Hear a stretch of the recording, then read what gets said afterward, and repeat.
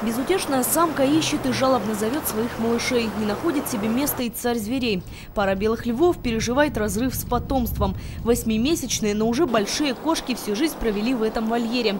Сейчас их поместили в контейнеры и уже подготовили к дороге. Их отвезут в Ивановский зоопарк. Это подарок к юбилею города.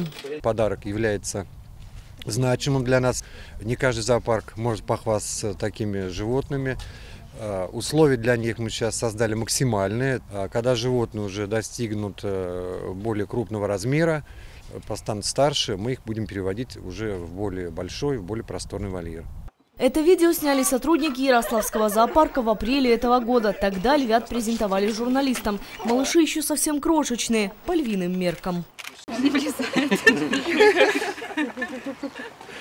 Сейчас львы подросли, теперь весят в среднем по 50 килограммов и уже проявляют характер. Самец он остался такой же, более спокойный, то есть с ним можно поработать так аккуратненько.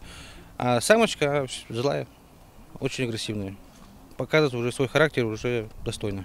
Сейчас на планете всего около 300 особей белых львов, а лет 40 назад они были на грани вымирания. В дикой природе таким животным трудно маскироваться. Хищники сами становились легкой добычей. Для сохранения редкой породы животных поместили в заповедники. Теперь получить потомство от этой молодой пары рассчитывают и в Иваново. Взамен гости привезли ответный подарок – степных орлов. Они занесены в Красную книгу, но в Ярославском зоопарке надеются весной получить от них потомство. Ольга Преснухина, Олег Лушников. День в событиях.